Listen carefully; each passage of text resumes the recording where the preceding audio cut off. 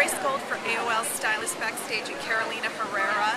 and we are in the wardrobe section where all of the clothes for today are laid out. You can see the gorgeous dresses that Carolina is known for, and down at the bottom we've got bags with all of the accessories, shoes, jewelry,